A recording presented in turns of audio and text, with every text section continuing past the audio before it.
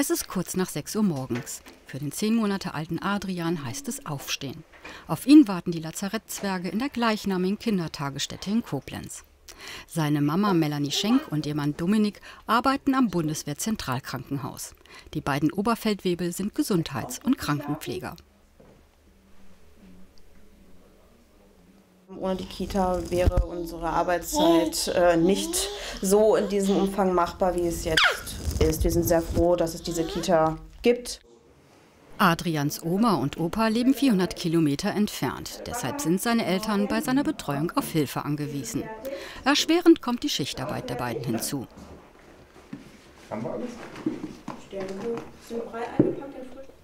Dass sie ihren Sohn gemeinsam in die Kita bringen können, kommt daher eher selten vor. Deshalb ist es besonders wichtig, dass die Zeiten in der Kita flexibel sind.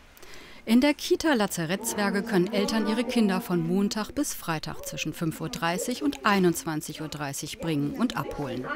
Für die Eltern ist es gut zu wissen, dass ihre Kinder bestens versorgt sind.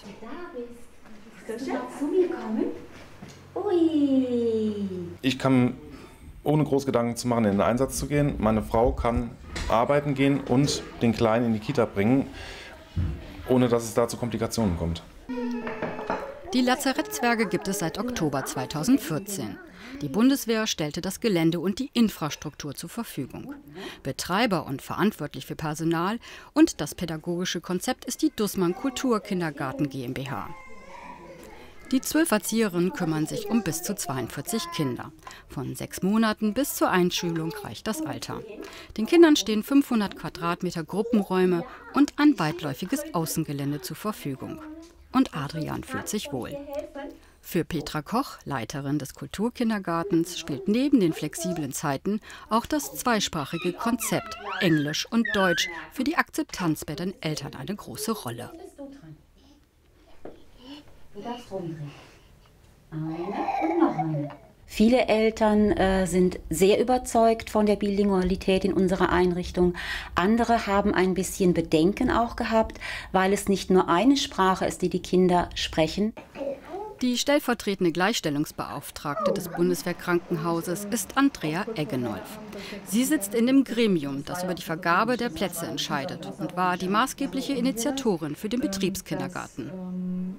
Die Motivation war damals als hauptamtliche Gleichstellungsbeauftragte wegen Vereinbarkeit von Familie und Dienst. Und ich habe halt den Notstand gesehen, gerade im Schichtdienst.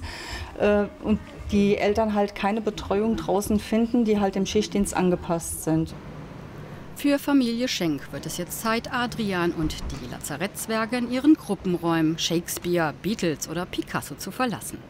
Vor ihnen liegt ein fordernder Arbeitstag auf der orthopädischen und der onkologischen Station nur wenige hundert Meter entfernt.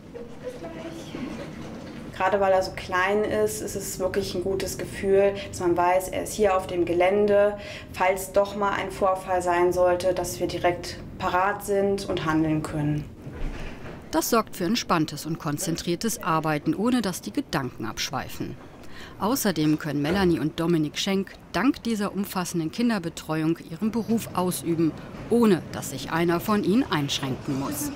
Davon profitieren nicht nur die Eltern, sondern auch ihr Arbeitgeber, die Bundeswehr.